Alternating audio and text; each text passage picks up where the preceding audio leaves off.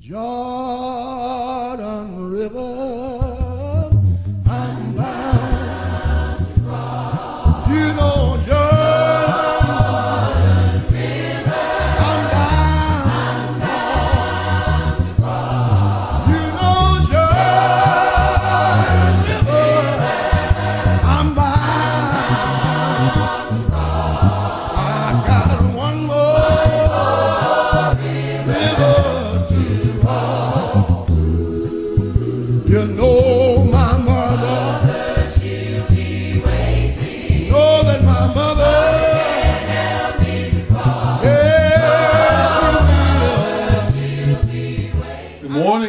welcome, friends.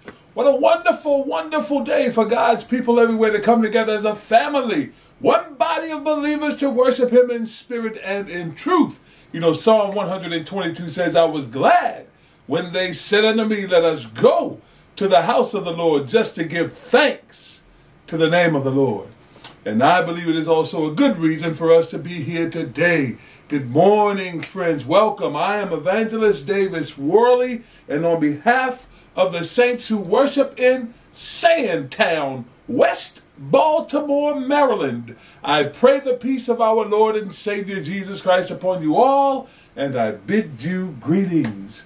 We welcome you, friends, to our Worship via live stream. It is our pleasure, our delight to have you with us, to invite you into our worship service. And we are delighted that you have chosen to spend just a few moments of your time with us today. Friends, we know that there are many other things that you could be doing, but God placed it on your heart to visit with us. And while we would have preferred to be with you in person, we're thankful, friends, for your interest and your desire to worship with us. Friends, churches of Christ all around the world have had to modify how they worship due to the coronavirus. Friends, this threat is still real. This threat is still real.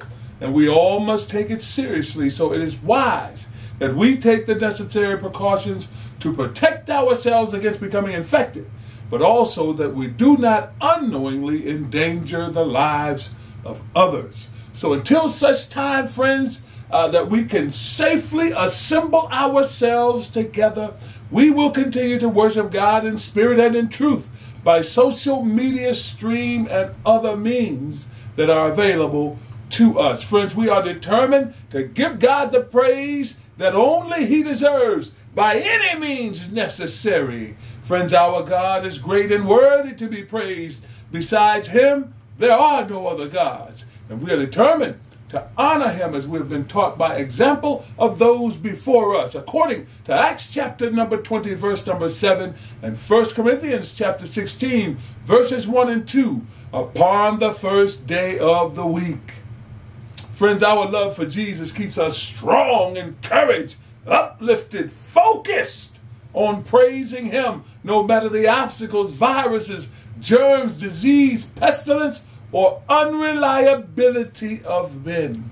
Friends, our God is a conqueror. He's a shield, a defender. He's a comforter. He's a strong defense. He's a fortress, a mighty warrior. He's King of kings and Lord of lords. He hears the cry of his children and he comes to our defense. First Peter chapter 3 verse number 12 tells us that the eyes, my friends of the Lord, are on the righteous and his ears are open to our prayers. But the face of the, of the Lord is against those who do evil. Friends, our God has never ever lost a battle, and he never ever will. Let's pray together. O Lord, our God, Almighty, all glorious, most holy, and eternal, the God of our Lord and Savior, Jesus Christ. Father, we humble ourselves beneath your throne of grace on this morning, Father, just thanking you for yet another day that you have awakened us, strengthened our bodies, Father, and allowed us to assemble ourselves to worship you in spirit and in truth. Father, we are eternally grateful for all that you have done and all that you continue to do in our lives. We thank you so much, Father, for your Son, our Lord and Savior Jesus Christ, who makes all things possible for us with you. And Father, we humbly ask now that you would please forgive us of our many sins, Father. We know that we have sinned against you either in word, thought, or deed. We repent of our sins, Father, and we humbly ask that you would do as you have already promised us in your word, that if we repent of our sins, you will be just to forgive us and remember our sins no more.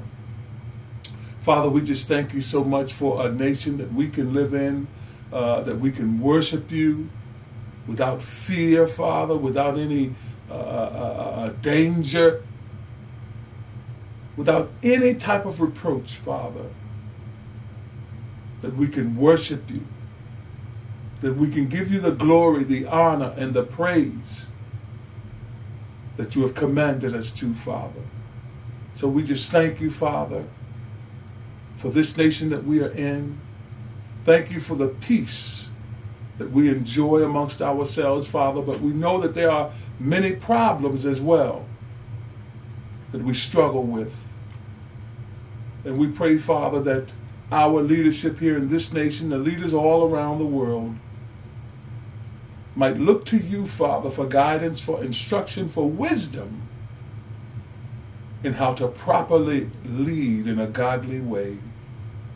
Father, we pray for all those who are still battling this uh, deadly virus. We pray for all those scientists, Father, the virologists, everyone who is involved, our first responders Father, please bless our doctors, our nurses. Protect their families, Father. Keep them in good health and good strength. We pray for those who have lost loved ones due to this deadly virus, Father, and we're just asking that your peace and your comfort, Father, be upon them. And Father, we pray for the lives that were lost in the senseless tragedies in Colorado and in Georgia. We pray for the families, Father. We pray, Father, for those who would commit such atrocities, that you might touch their heart, that they might hear the life saving gospel message of your Son before it is eternally too late. Father, please be with us now as we continue in this worship service unto you. Father, we ask that your Spirit will rest upon us and guide us in the direction that you would have us to go. It is in the mighty and matchless name of your Son, our Lord, our Savior, our High Priest, and our King, Jesus the Christ, that we do humbly pray. Amen. Friends, welcome to the Church of Christ. Relax, be at ease, be comforted, and find peace for your troubled soul. Friends, please join us now as we worship God in congregational singing with song leaders from all over the Church of Christ as we lift up our voices in holy praise to God in songs, hymns, and spiritual songs. I woke up this morning with my mind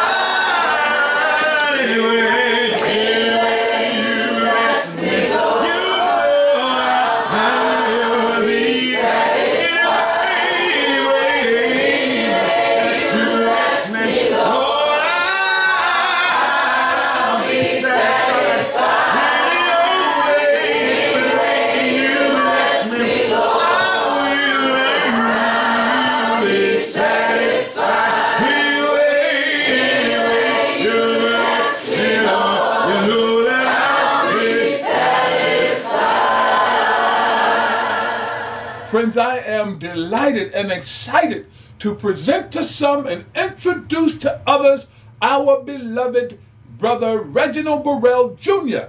of the Southside Church of Christ in Baltimore, Maryland. Friends, Brother Burrell has taken the time to put together a sermonic discourse of exaltation for our listening edification through God's holy and divine word. Friends, our brother Burrell is a great teacher, marvelous teacher of God's word, a wonderful orator, and all around mighty servant of God. Brother Burrell is an avid supporter and welcome speaker here in the Church of Christ in Sandtown. I love my brother because he is an unapologetic defender of the gospel of Christ. That's right, he stands on God's word, and I love that. He's a mighty warrior on the battlefield, and today he will bring us another message. So, friends, we pray that you will enjoy his powerful message. After the singing of one more song, one more song, the next voice you hear will be that of our beloved brother, the mighty minister of the gospel of Christ, Brother Reggie Burrell Jr. of the Southside Church of Christ in Baltimore, Maryland.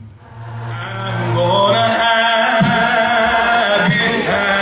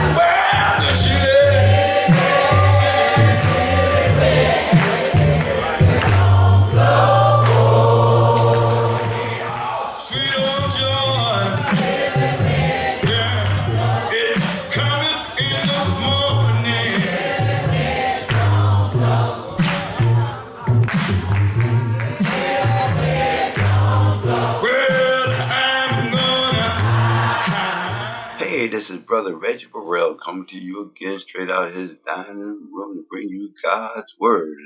On behalf of Sandtown Church of Christ in West Baltimore and the fine evangelist over there, Brother Davis Ward and his congregation, feeding that neighborhood and that God's vineyard over there. I want to thank him so much for giving me another opportunity, like I said, to bring you God's word. Amen. So before we get started, we always like to say, uh, we want to give God's praise and honor. We want to um, go to God in prayer on behalf of, uh, of the, the, church and behalf of those who may be listening and those who may be watching. We are truly thankful. You are honored guest today. We are thankful that you are here with us. Uh, if we hear anything today, uh, before we pray, if you hear anything today um, be uh, feel free to call us if it's if it sounds you know different or something new, whatever, and, you, and you're questionable about it. Feel free to call the numbers that you may see at the end of the service, and we'll give you a biblical que- I mean, answer to your biblical question. I guarantee. So again, we are thankful that you're here with us today. Those who may be watching, those who may be listening in, um, you are honored guests, and uh, we're ecstatic about that. And we want to give God the praise, and we pray that you be encouraged um, at the end of the service to continue with God. Amen. Amen. So let us go to God in prayer before we get started. Most wise and wonderful Father God, we come to you again today, oh Father, to say thank you for being the great God that you are. We want to say thank you for being our Father. We want to say thank you for, for your Son, Jesus Christ, our, our Lord and our Savior. Uh, we want to thank you, oh Father, for the sacrifice, excuse me, that He has made on our behalf by, by paying a debt that He did not owe for those who owe, such as you and I, but we could not pay. Father, we are thankful for the sacrifice on, on, on our behalf. Uh, we pray, oh Father, that we will be careful today to give your name the honor and praise and all that is so richly rightly due to you, Father. We pray that we will worship you in spirit and in truth today through your Son's um, lessons and his teachings, oh Father God, the, the gospel of Christ, oh Father. We pray that we will be found pleasing to you today. We pray that your uh, spirit will lead us today and guide our hearts and our minds, oh Father God that we may have an understanding of thus saith the Lord, that we may apply those things to our daily lives, that we may be found faithful and better today than we have been in the past, oh Father. We pray for your forgiveness in our lives today, oh Father, for we all sin and fall short of your glory, oh Father God. And we confess our sins to you today, oh Father, because we know that you are faithful to forgive. Father, again, we ask that you will uh, um, um, prepare our minds and our hearts today that we may receive your word with understanding today. Oh, Father God, we pray that you will bless those who may be sick those who may be shut in, those who may be incarcerated, those who may have lost loved ones, oh Father God, especially due to this COVID uh, uh, uh, um, disease that's going around. May you comfort us, may you watch over us, may you find a cure for us, oh Father God, and, keep us, oh Father God, uh, that we may give your name the glory and praise and honor that is so richly rightly due. Again, we thank you so much. It's these and all prayers we ask we're asking the precious name of our Lord and Savior, High Priest and King Jesus the Christ. Together, let us say Amen. Now, let me wake up. I got my my ginger and my my garlic tea with me, and uh, got my word of God with me. I pray that you got your word of God, your copy of God's word, and you got a pen and paper, pencil and paper. As Brother Worley like to say, take copious notes. That's a whole lot of notes. Um, so you can um, ask questions at the end of the service. Amen. So let us get started today. You know, because it's so important that you out there who are listening and those who are watching, uh, especially those who are watching and especially those who are listening. So that covers all y'all, don't it? Yes, it does. It's important that you put your ears on today because I have something important to say. Thus saith the Lord. That's what I got to say. God's word. I'm trying to bring you the truth about a lie today. And that's the sermon title for today. The truth about a lie. The truth about a lie. Why? Because there's too many lies that's going around. There's too many lies that's been told. There's too many lies that's gonna let people down the wrong road in the wrong direction. And at the at the end of the day, they're gonna be at a dead end. And I put emphasis on the word dead. They're gonna be dead end. So I pray that you got your ears on today and you're listening attentively. You got your notes and do like the Bereans, like Brother Worley always say, check us out and check me out. Make sure what I'm saying is thus saith the Lord. Check your scriptures, and when I give scripture text, write them down. We'll try to be slow about it, but write them down. Um, try not to be too long, but you know how Brother Reggie is. I'm just gonna give it to you like it is. If you gotta leave, you gotta leave. But I pray that you stay. Because it's important. It's going to be a blessing to you if you stay and listen to God's word. Amen. Amen. So, let us get started. Today, we're going to come out of the book of Matthew. That's what we're going to start from, the book of Matthew, chapter 21, verse 23. Matthew 21 and 23 is what I want. We're going to start there with Matthew 21 and 23. If that's all right with you all. And I, and I got my notes and I'm clicking and I'm plucking and I'm doing these things uh, uh, so that you can get a better understanding of God's word clearly. So I gotta go through my notes as well as we as we talk. Um, so, so just um, listen up um, carefully and, and follow along. So again, our scripture text today, for those who want to write it down, we're looking at Matthew chapter 21. We're going to start at verse 23. And I guess you want to know why we're going to start at verse 23. You know, uh, uh, uh, it's important because um, you know, Brother Worley spoke of it last week about the authority of Christ and, and, and the authority of God's word. And it's important that you all understand today that, that there's a, some authority that needs to be uh, recognized when we're dealing with um, religious and spiritual things. Amen. Amen. So, sermon title again for those who may that uh, may missed it: the truth about the lie. And the scripture text we're launching from today will be Matthew chapter 21, um, 1, verse 23. Amen. So let's do a little uh, uh, uh reading here and, and, see what we find. Uh, uh, uh, it, it's just that simple. Amen. Amen. So got on my old man glasses this morning, and, and I pray that you all are, are ready and got your word to follow along. Now, I'm going to explain something to us as we go along. Uh, I like to exegete the scriptures and I like to just explain what I'm doing. So, here we, we want to look at the authority. Now, think of it. Now, I want you to put your ears on now and think of this. Now, I'm going to use my house. Now, I'm the head of my house. I'm say it too loud. I'm the head of my house. And And, and, and, and, what usually goes on in a man's house, usually if he's the head or whoever's the head for that matter, they usually have set rules and regulations in their house. And so you, if you're the head and you don't set rules in your house, you're not going to let any other man come in and change your rules and regulations of your house because you have authority of your house. Uh, I, I, guess you can understand where I'm coming from. Amen. You get the point. Uh, uh, uh, it's your house. You set rules. Nobody else going to come in from the outside and, and change rules in your house. So that's the same thing with God's house. That's the same thing with the church.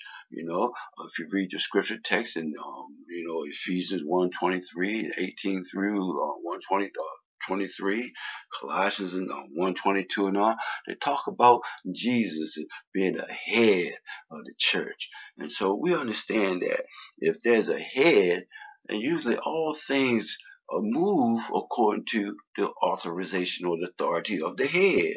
You know, like we have a head on our body, and if I want to pick up this Bible, uh, my my my hands are the ones who's picking the Bible up. But uh, my hands are not the ones giving itself the authority to pick up the book, but the authority is coming from the head. So, so we should do the same thing in church and in God's house, is not do anything unless we're authorized to do it by the head who owns the house. Amen. Because if you're trying to do anything otherwise and other than the rules of the house, guess what? You're not in conjunction with the rules of the house. There's going to be some consequences. Uh, it's just that simple. Uh, you can't come to my house and change my rules. You're going to run into some consequences. And I'm quite sure if I go to your house and try to change rules in your house, I'm going to run into some consequences. It's just that simple. Amen. So let us move on. Brother Reggie like to talk. Now, uh, I'm already 10 minutes in and I ain't said nothing. So, now, Matthew chapter 21, verse 23. Let's read for emphasis sake. Amen.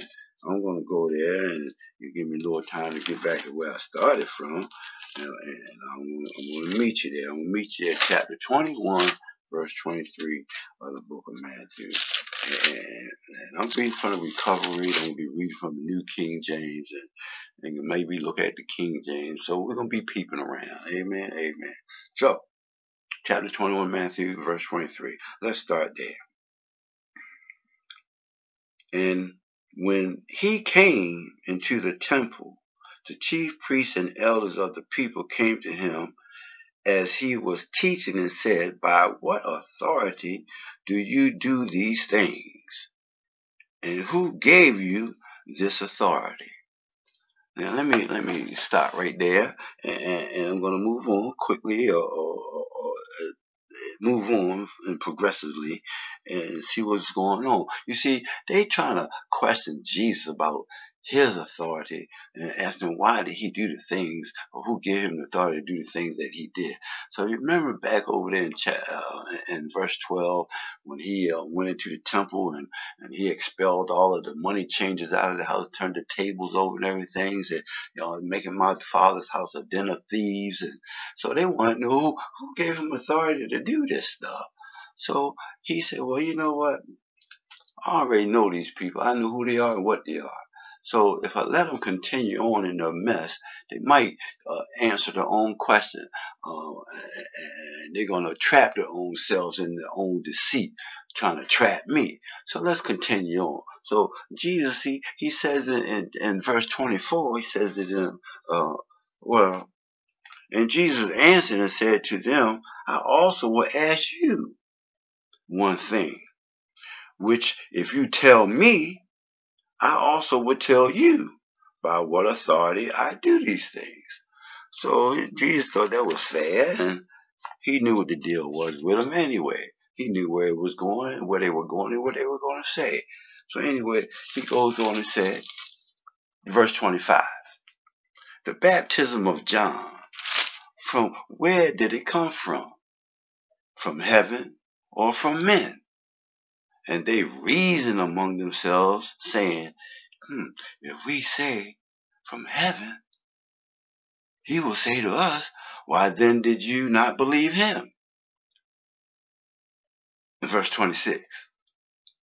But if we say from men, we fear the crowd, for all hold John as a prophet. Verse 27. And they answered Jesus and said, we do not know. We cannot tell. And he too said to them, Neither do I tell you by what authority I do these things. Well, let's hold up for a minute. They said that they didn't know, they couldn't tell. Well, they lying because they know. They was afraid uh, uh, uh, if they said if he was from heaven, why did they believe him? Because John is a man uh, who came from God, right? John the Baptist, John, the one who's crying in the wilderness, was prophesied to come. So he's a man coming in the righteousness of God, coming by way of righteousness. His words are righteousness. He's walking in righteousness. But they were afraid because they didn't believe him. So they couldn't answer because he's going to say, well, why didn't you believe him? Then he said, well, if we say it was from men, they're going to say, well, John was considered a prophet. Why didn't you follow them? So they said, we cannot tell. So they liars. See, this lies is a, is a rough thing. There's too many lies, like I said, are being told. And here, they're trying to check Jesus' authority, and they're lying in the midst of calling themselves holding their own authority. So anyway, y'all get the point. It's about this authority. And I'm trying to tell us today, today's world, that authority means something. Just like it meant then, it means something today. But we take authority lightly.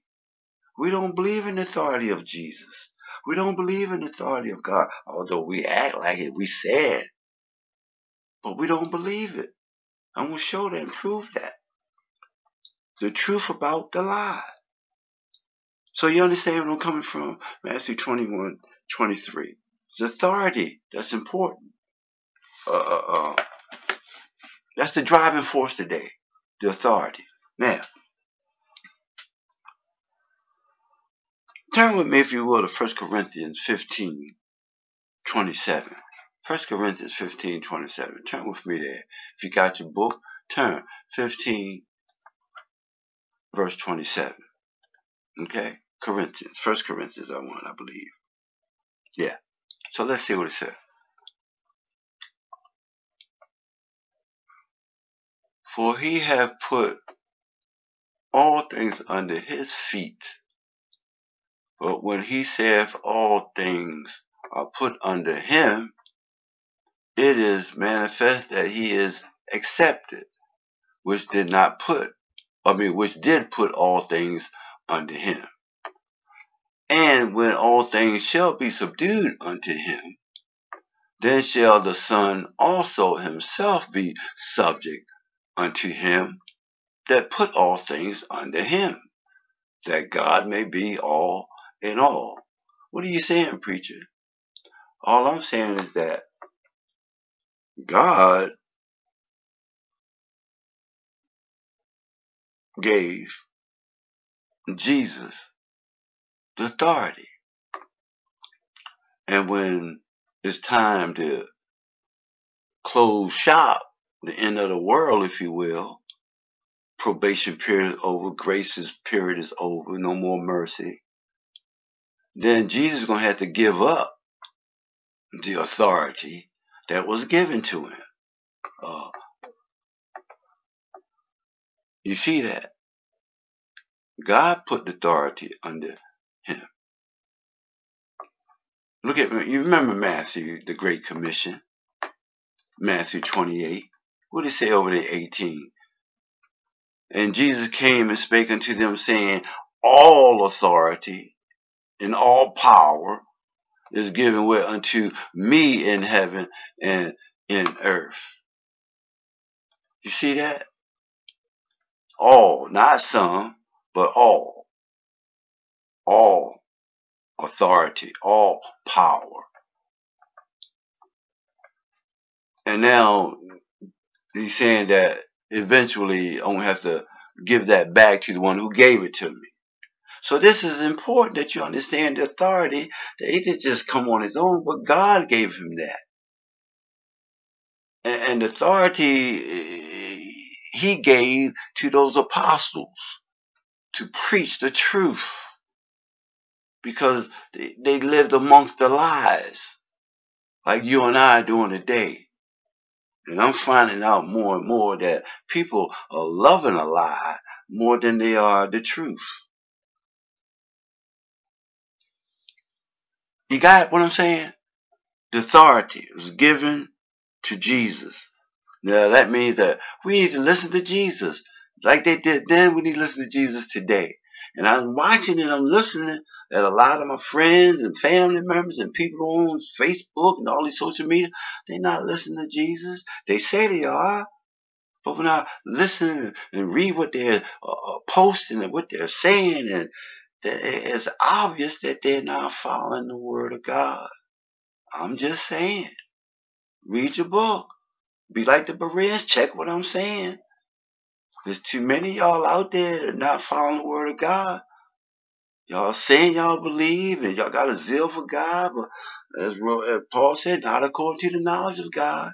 Y'all going about to establish your own righteousness, have not submitted yourselves to the righteousness of God.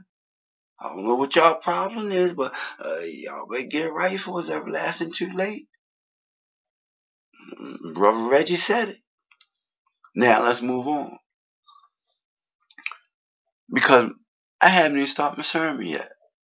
We 20 minutes in already. Sermon only 20 minutes long.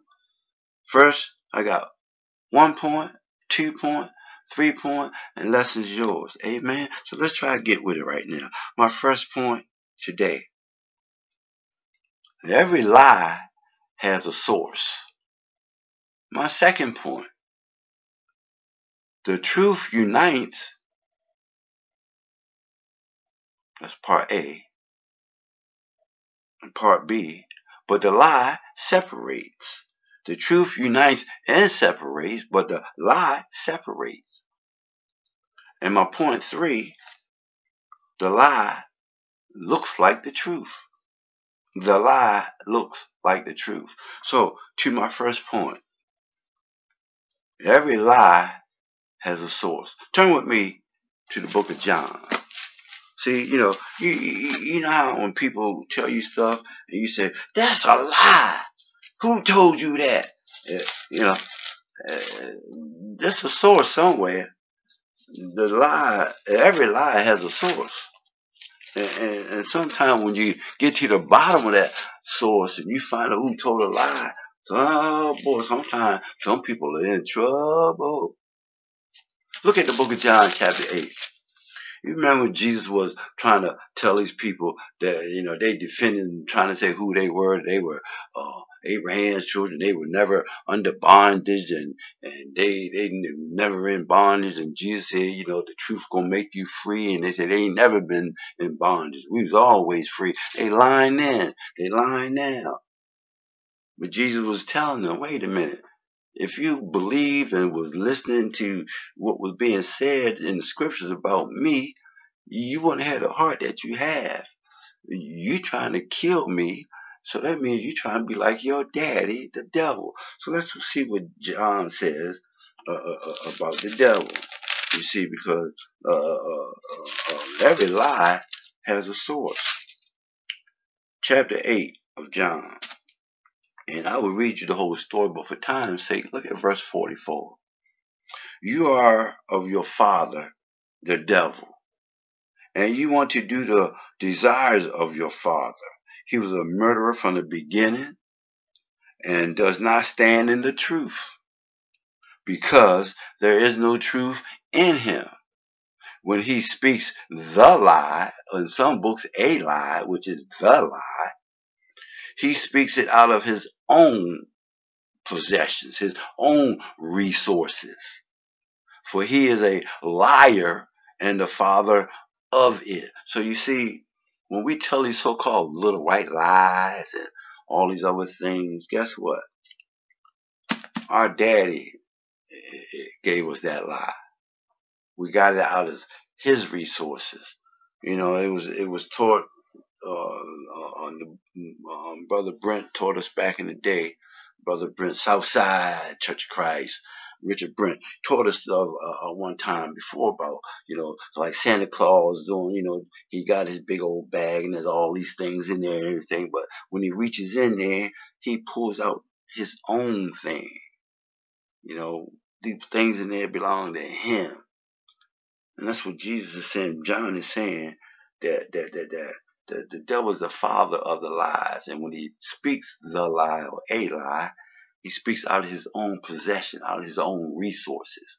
So you got to be careful what you say out your mouth because if it's a lie, guess what? Your daddy gave it to you. And you can, and you can profess that you follow Jesus. But if you're lying, that means that, that, that, that other guy, your daddy, the 844, the devil, said, uh, uh, you know, that's where you got it from. So every lie has a source, and, and we need to understand that.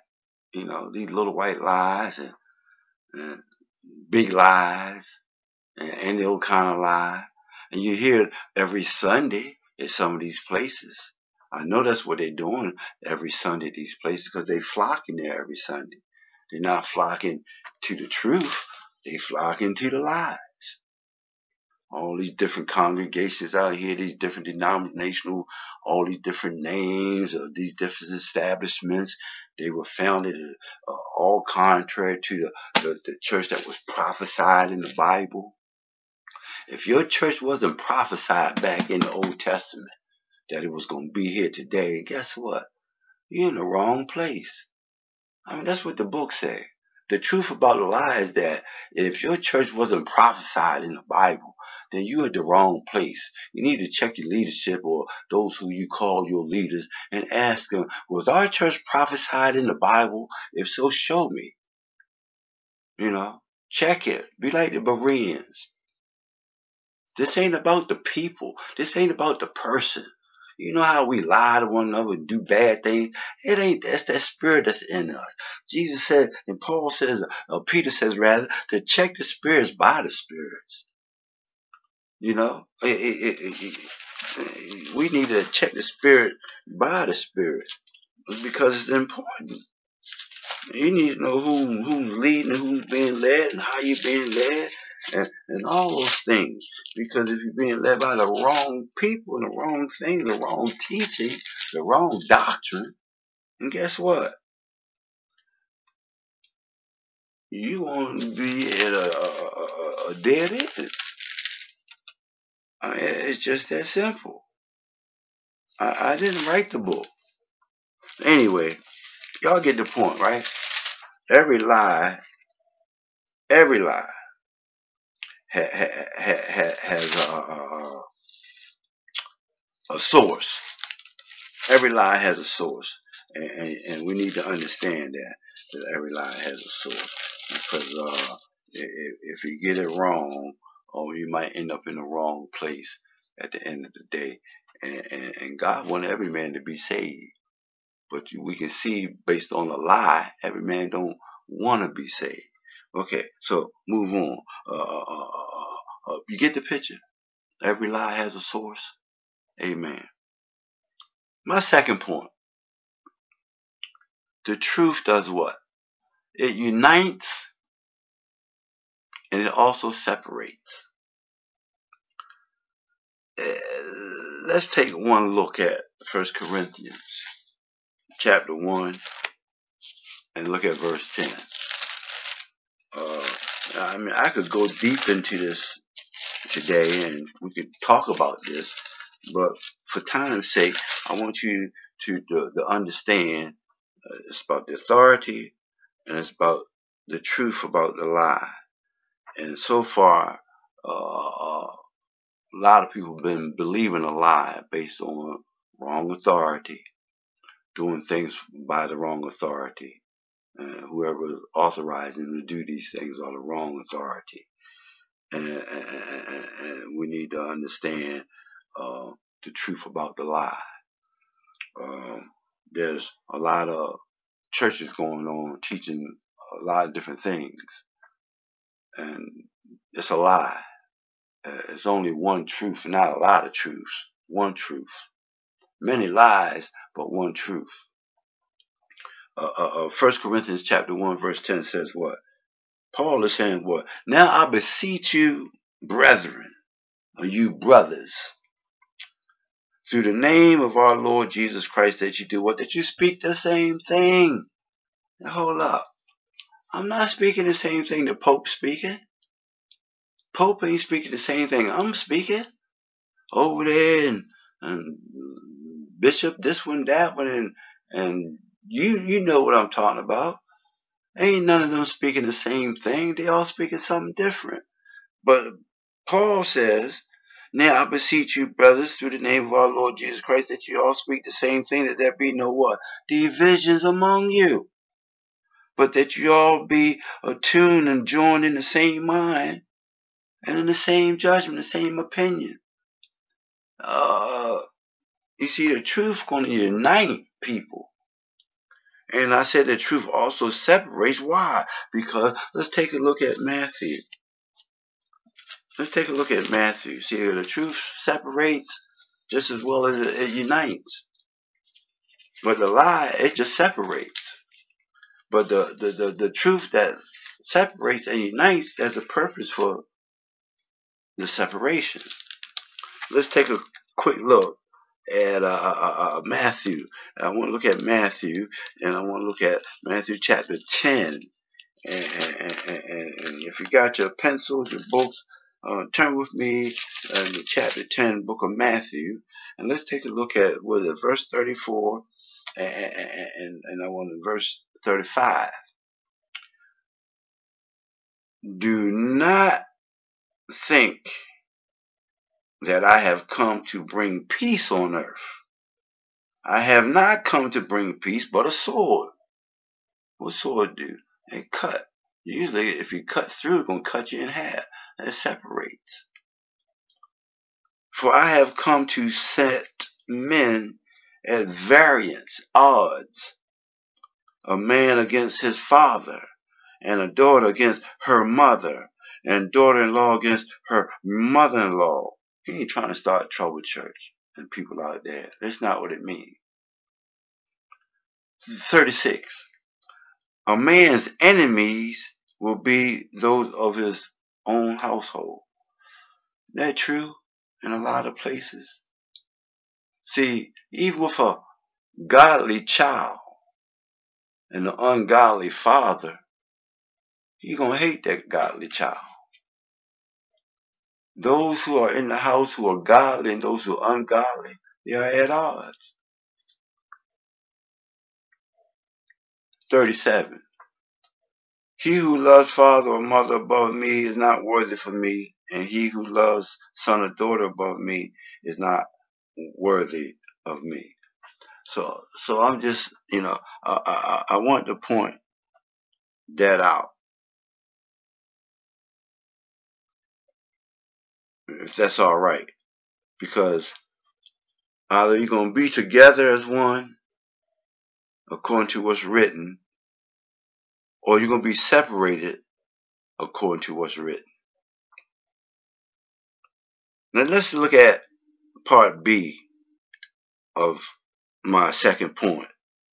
The truth lies and separates. That's part A. Let's see what Matthew has to say about the lie that separates. Right? Turn with me to the book of Matthew, chapter 21. And I'm going to go down to 28. And remember, we started in 23 about the authority. Now look at verse 28 and down because this is the lesson. Jesus points out salvation to all mankind. He's letting us all know that we all need salvation. We all are sinners. But look at the analogy or the parable is that, that, that, that Jesus laid out. And look at the two, the, the distinction. I want you carefully listen and look at this because this is where uh, uh, the meat of the story is really. Okay, is in this here. The truth unites and separates. Remember, but the lie separates. But let's look at this discourse here.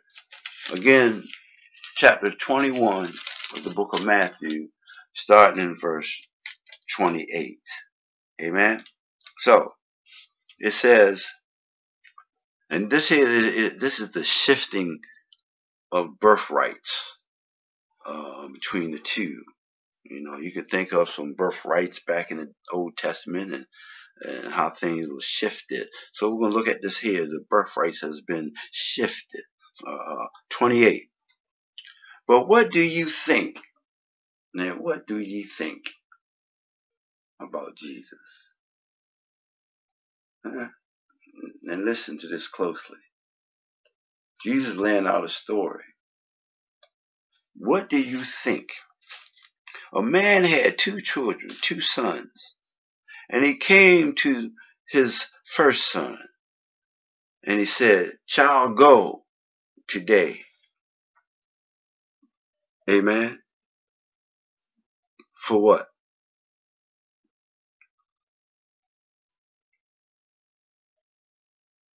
And work in the vineyard. This is what it's saying now. This is the representation. This is God's representation. Okay, this is God. God got these two. He's sending them out to work. But what do you think, verse 28? A man had two children, two sons, and he came to his first son and said, Child, son, go today out and, and work in the yard, in the vineyard. And verse 29, and he answered and said, I do not want to go.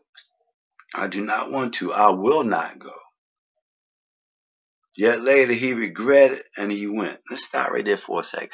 He later regretted and then decided to go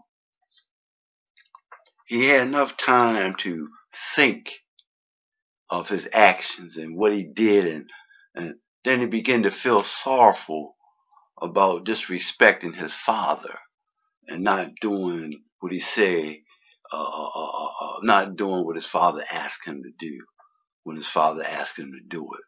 He, he gave him some back lip, if you will.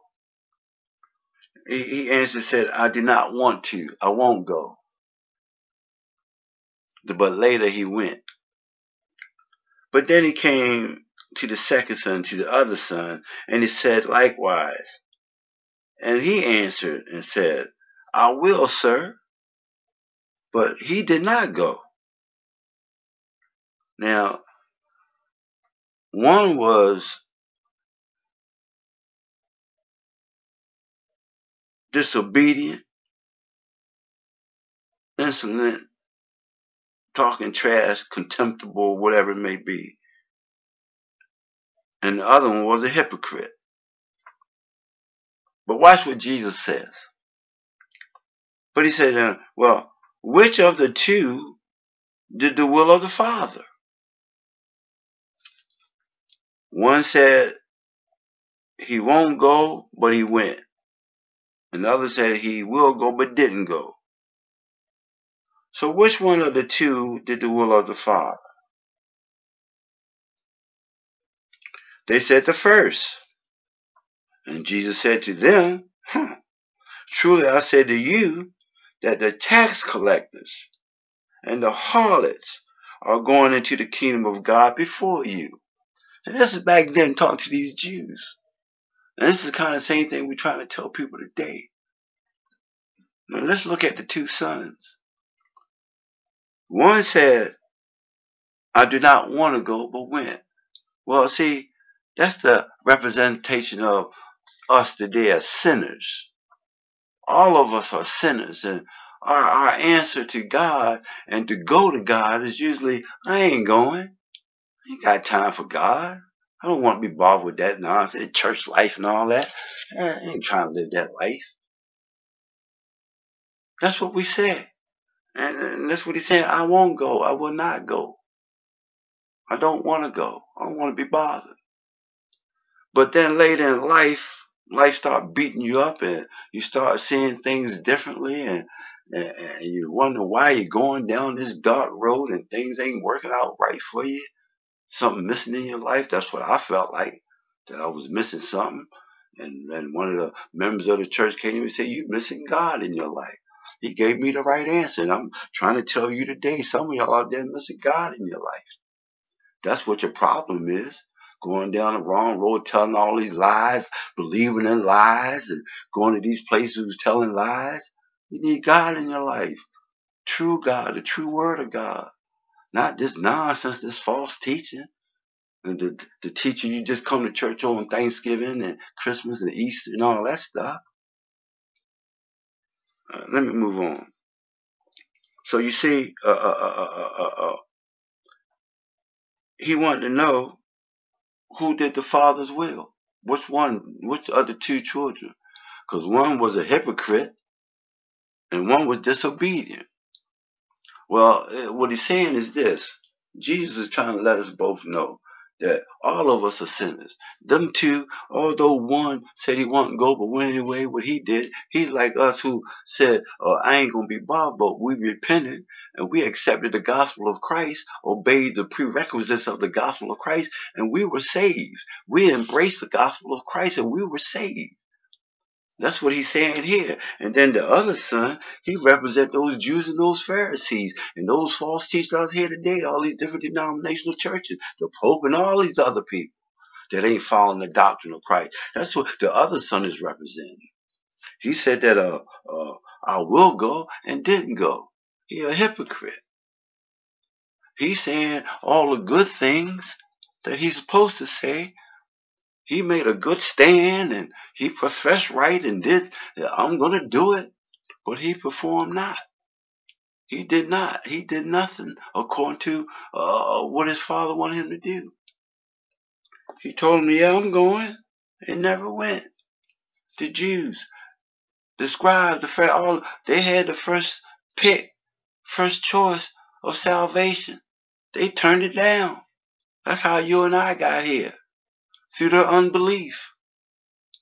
It's the faith that we had in Jesus that got us in.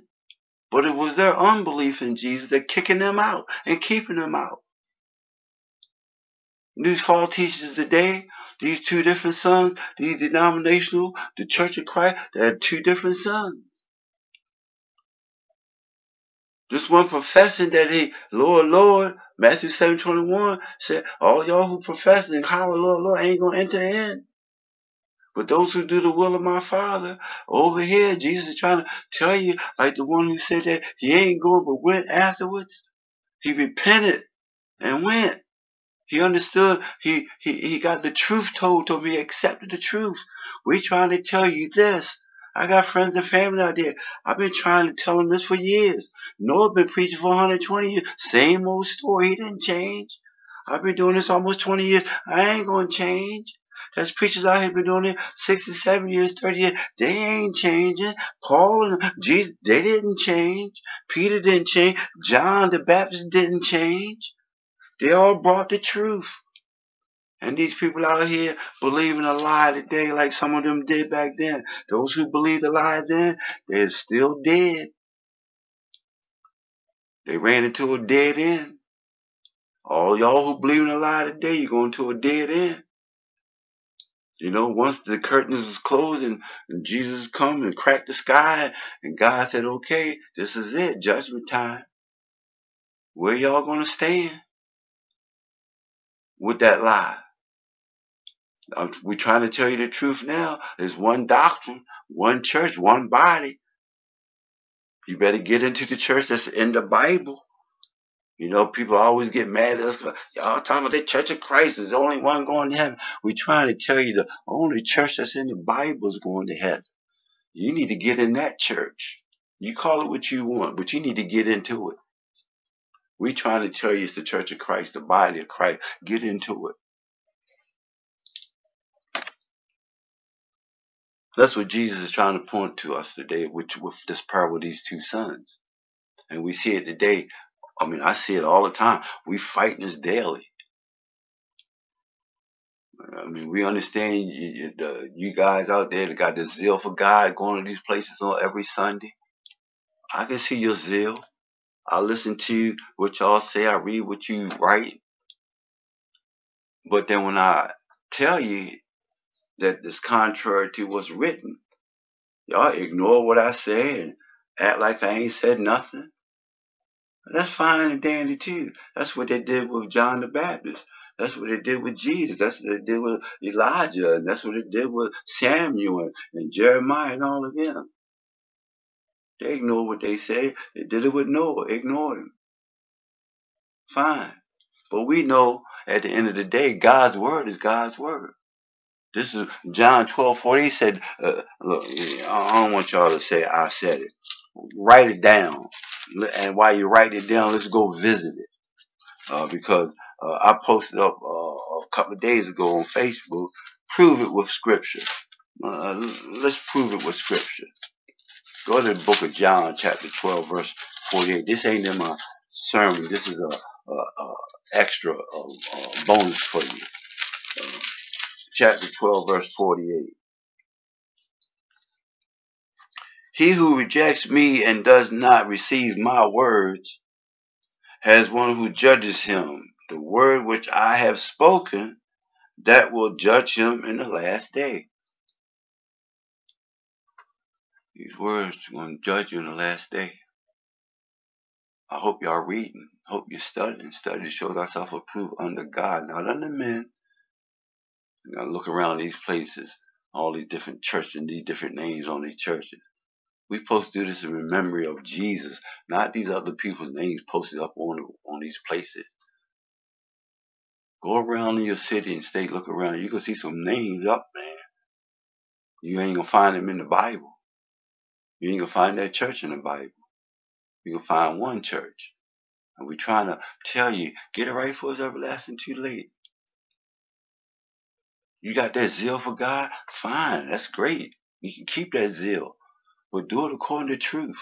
Stop believing a lie, living a lie, accepting a lie, and repeating a lie. I, I watched some lies today. I read some lies today. I done already told these people the truth, and they still posting and telling lies. Go to show me nobody studying. Nobody really care. I hope you're listening. My third point. I'm already 45 minutes in. It's time to go. My third point. The lie looks like the truth. Turn with me, uh, with me to the book of Romans, chapter 1. Uh, we're going to try to get through this. chapter 1 of the book of Romans. Turn with me. Hmm? Chapter 1, verse 25. Amen. The book of Romans, my third point. The lie looks like the truth. Uh, uh, uh, this is about condemnation uh, uh, on mankind generally. It was uh, on mankind. it was on those who are self-righteousness, like some of these people out here today. and it's on religious, it's specifically on religious today. Uh, so so let's let's look at what's going on generally. Um, God says in verse 25 of book of Romans chapter 1. Let's start at 24. Because, um, excuse me, now for emphasis sake, and for context sake, I know you got time. I'm going to try to read fast if that's okay with you. I said verse 25, but for context, for context, start at 18. Come on down. All right. Some of y'all might read faster than me. Y'all might be already finished. So, 18. For the wrath of God is revealed from heaven upon all ungodliness and unrighteousness of men who hold down the truth in unrighteousness, because that which is known of God is manifest within them. For God manifested it to them, for the invisible things of Him both his eternal power and divine characteristics have been clearly seen since the creation of the world, being perceived by the things made so that they would be without excuse. So just look around, church and people. You all see things out there that made naturally. God made those things, and there'd be no excuse. Then he said, verse 21, because though they knew God, they did not glorify him as God. Uh oh. Or thanked him but rather became vain in their reasoning, and their heart lacking understanding and was darkened. Professing to be wise, they became fools and exchanged or changed the glory of the incorruptible God into the likeness of images of incorruptible man and of birds and four-footed animals and reptiles. They done uh, start worshiping statues and stuff stone and wood. They made it and then they turn around and worship it. What kind of sense does that make? I made up some pottery and the stuff in clay and ceramics class, but I ain't gonna go turn around and go worship it. Anyway, verse 24. Therefore God gave them up in the lust of their hearts to uncleanness, so that they dishonored their bodies among themselves. Now, now watch this because there's a lot this going on. We're supposed to accept it as it's okay in the world. It's a lie. Look at verse 25. Who exchanged the truth of God for the lie and who worshiped and served the creation rather than the creator who is blessed forever. Amen. Therefore God, verse 26, gave them up to what? Passions of dishonor. For their females exchange the natural use of the of that which is contrary to nature. What is he saying? Well, he's saying now these women are laying with women, sleeping together, loving each other, sexually, immorality. And then it says in verse 27, and likewise also the males. See, y'all thought y'all was getting away. I'll, I'll cover y'all too and likewise also the males leaving the natural use of the female burned their uh, what burned in their craving toward one another. Males with males committing unseemliness abominations and fully receiving themselves the retribution of their error which is due the death which is due to those who practice those things and even as they did not approve of holding God in their full knowledge, God gave them up to disprove or reprobate minds to do the things which are what? Not fitting.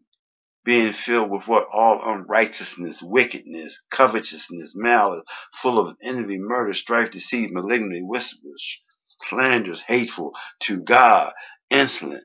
That sounded like that son earlier but arrogant, boasters, inventions, or inventors of what? Evil things.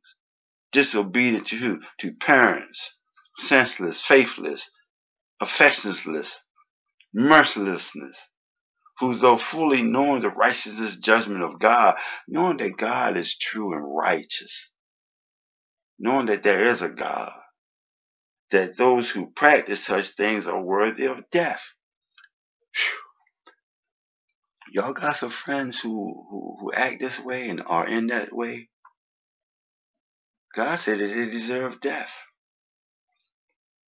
Not only do them, but also have fellow delight in those who practice them.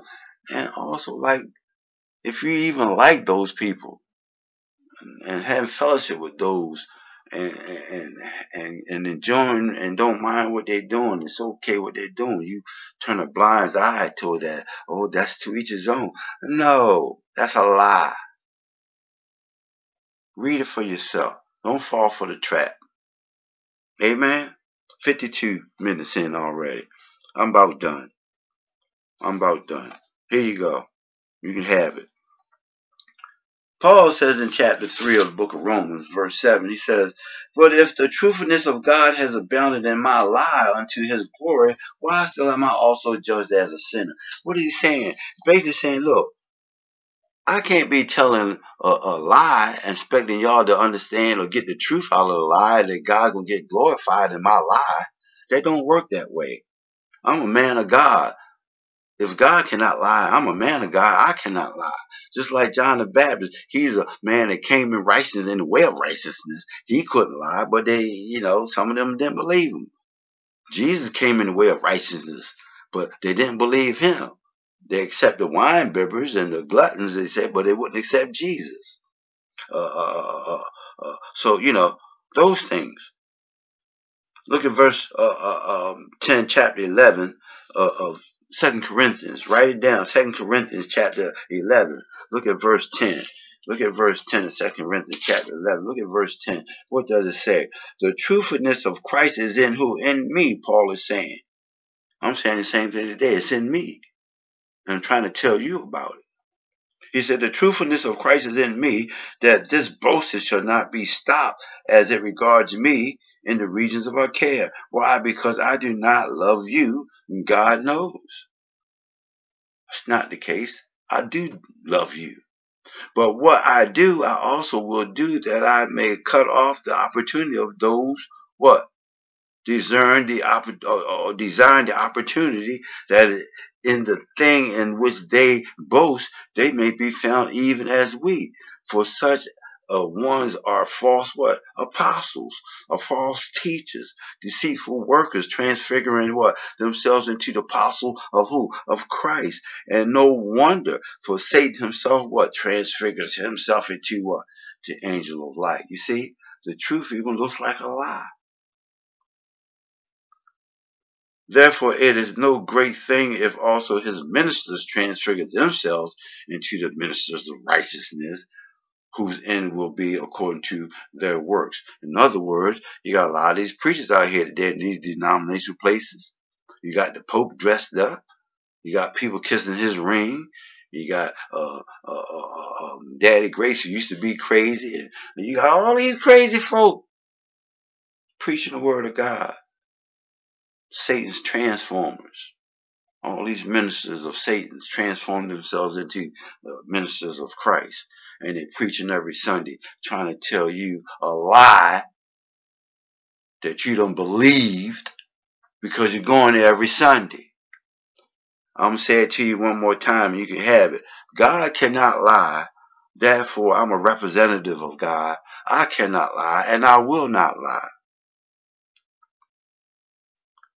You got to hear God's word, believe God's word, repent of your sins, confess Jesus as Lord and Savior of the world, be baptized in the water of grace for the remissions of your sins, and you will receive the gift of the Holy Spirit, and you will be added to the one body, the only body, the church of Christ, the body, the church that's in the Bible, the church that was prophesied to come.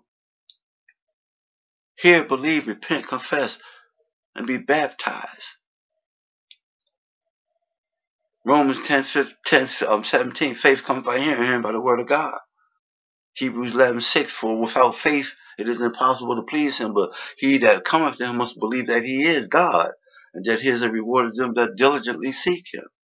Then you must repent, Luke thirteen three. Unless you um, repent, you shall all likewise perish. Matthew ten thirty two. You gotta confess Christ. Nine Romans nine ten um, uh, 10 9. You gotta uh, uh, confess Christ. Matthew 10 32 33 tell you, if you confess me before men, I will confess you before my Father which is in heaven. But if you deny me, I will deny you also before my Father which is in heaven. He makes it personal. You got to speak up for yourself. Save yourself from this untoward generation. You got to save yourself. We try to we laid out the prerequisites for you. We're doing them now. Hear, believe, repent, confess Christ, and then get baptized in this watery grave for what? For the remissions of your sins. A lot of people out there telling that lie that baptism is not essential for salvation. Well, I'm here to tell you the truth about that lie. That baptism is essential for salvation. Um, Acts 2 and 38, Peter tells, repent every one of you in the name of Jesus Christ for what? For the remissions of your sins. Be baptized in the name of Jesus Christ for the remissions of your sins. Every one of y'all, get in that water. You do that thing, you, you receive the gift of the Holy Spirit, which is the Holy Spirit Himself, then the Lord in Acts 2.47, He will Himself add you to the body if you're being saved. So, you heard it today. Brother Reggie told you the truth about the lie. I pray that you who are listening, you who are watching, that y'all was encouraged. If you got a question, call the numbers that you hear, uh, at, uh, that you see at the, uh, scrolling down at the, uh, uh, in the, uh, at the bottom of the screen at the end of the service. Take communion and, and give and, and visit 1310 Lillian Jones Recreation Center over there on 1310 North Stricker Street, Sandtown. West Baltimore Church of Christ over there. Sandtown Church of Christ is in West Baltimore. Brother Davis Worley the evangelist over there, Davis Wall, and his fine congregation. You tell him that Brother Burrell said hello and is thankful that he allowed me yet again to send you God's word. I hope you heard today and I hope you took some notes. Got any questions? Feel free to call. Amen. May God bless you and continue to smile upon you until the next time. Sandtown, Church of Christ, West Baltimore. Amen. This is Brother Reggie Burrell signing off